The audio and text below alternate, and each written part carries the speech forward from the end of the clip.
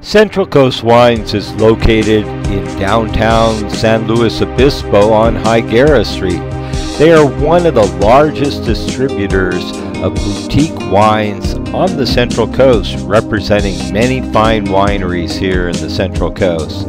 We're going to take you on a little tour and do a wine We're here today at the Central Coast Wines in downtown San Luis Obispo. Um, we have lots of great wines here. Uh, come back and see us here or come out to the tasting room in the Edna Valley. Thank you very much. Uh, wine from the Bay Area. This is our estate Pinot Noir, fire Pinot Noir.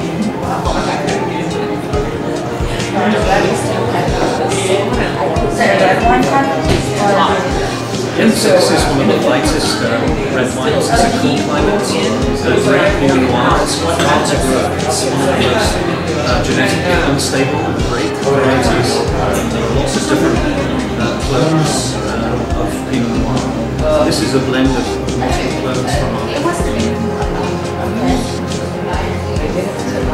starting to pair this with uh, more robust dishes, um, like grilled chicken, uh, something like that.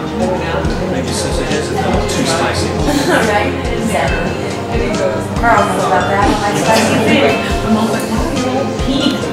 Uh, this is our Grand Fire Cuvée Chardonnay, 2010 vintage.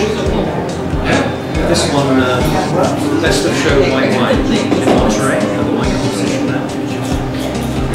30 to 40 percent new French oak, um, but again it's pretty crisp. None of the buttery kind of characteristics that some Chardonnays have. I actually like this one. I know, it tastes kind of different, I've tasted most of the Chardonnays, but They'll have a longer finish than that Pinot Gris, so it's, it's a better, uh, this, uh, with a richer food, Okay. chicken and creamy sauce, lobster, stuff like that. but, uh, or sushi.